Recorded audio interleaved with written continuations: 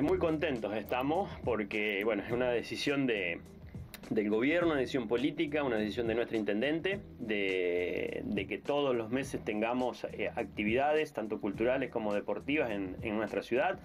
Por ahí se nos superponen algunas cositas por el tema de, la fecha o de la agenda que podamos eh, llegar a tener. Eh, ahora mm, eh, vamos a tenerlo más pronto. Es este sábado 23 el encuentro de danzas folclóricas que lo teníamos programado para el 15 de enero. En enero, exactamente. Y que bueno, en esa misma fecha se había suspendido por el tema pandemia, que iba a ser en el Paseo de la Vida, y ya habíamos puesto fecha de 23 de abril.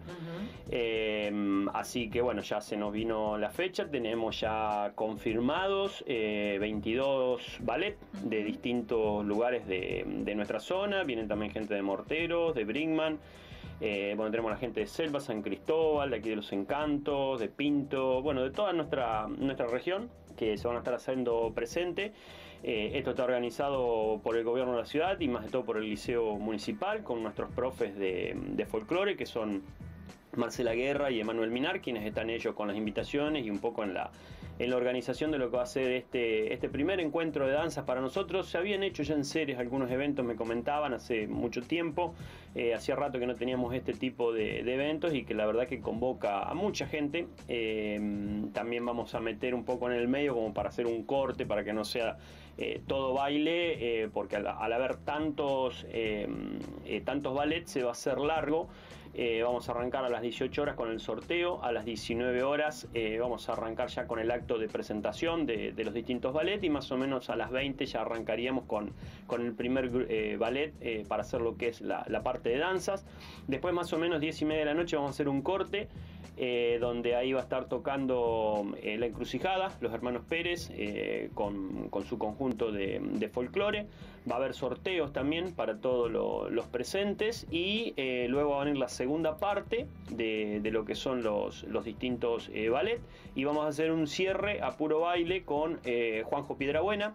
Eh, que ya lo teníamos contratado para los carnavales, que lamentablemente no, no, lo pudimos hacer y él ya no tenía más fechas, así que bueno, en ese momento ya lo, lo, habíamos comprometido para el 23, así que bueno, va a ser una noche mm, muy linda, muy necesaria, porque hacía mucho que nosotros desde el gobierno no podíamos realizar este tipo de, de eventos, así que bueno, la cita está para este próximo sábado va a ser en el Club Central Argentino Olímpico. También agradecerle al Club Central la, predisposición porque tiene una agenda muy muy apretada porque el, viernes está Celevera, eh, después a la mañana tienen básquet, así que hay que tapar la cancha, destapar la cancha. El domingo también creo que tienen básquet, así que bueno, la verdad que eh, un trabajo en conjunto que vamos a hacer con el Club Central. Agradecerle también eh, que nos haya cedido las instalaciones para poder hacerlo. Y bueno, de esta manera la gente está resguardada y sabe que si tenemos mal tiempo tiempo, frío, llovizna o algo, el evento se puede, se puede poder eh, hacer, ¿no? ¿Desde las 20 horas o antes? 19 horas hacemos la presentación. A las 18 ya van a estar presentes todas las academias porque se hace un sorteo para ver quién le toca primero, segundo y demás. Y a las 19 ya la idea es comenzar con el acto principal, donde bueno, se hace el desfile de las eh, distintas academias, se le hace la entrega a los presentes, las palabras de bienvenida y más o menos a las 20 calculamos empezar ya con el, con el primer baile. La entrada es libre y gratuita. Eso te iba a preguntar. Va a haber servicio de buffet acá cargo del municipio con eh, choripanes, pizza, torta asada, bueno, todo tipo de bebidas, tortas dulces también.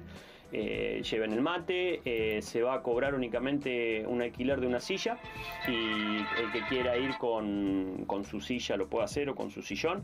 Eh, la entrada es libre, pero se hace el alquiler una silla. El dinero que se recaude para cubrir parte de los gastos que tenemos de este evento y también para poder invertirlo en, lo que son las academias nuestras que tenemos, los talleres de, folclore, cuando tengan que viajar, para indumentaria, para lo que requiera un poco la actividad.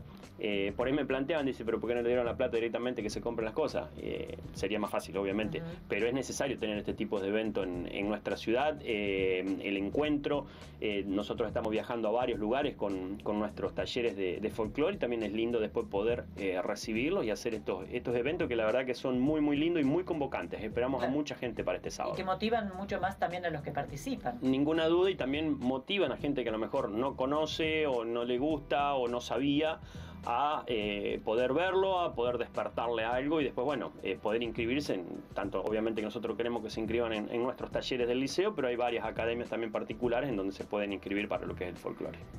Bueno, eh, planteabas que hay tres fines de semana seguiditos con actividades, el otro fin de semana que es Sí, el otro fin de semana lo vamos a playar bien semana que viene, pero lo adelanto, es eh, una feria de artesanos y emprendedores, calculamos tener aproximadamente 200, porque va a ser una feria regional, grande como la que se ha hecho la última, y conseguimos gestionar en la provincia el programa Santa Fe en tu corazón, desde el Ministerio de Cultura, que es este camión escenario, donde está mm, recorriendo distintos puntos de, la provincia.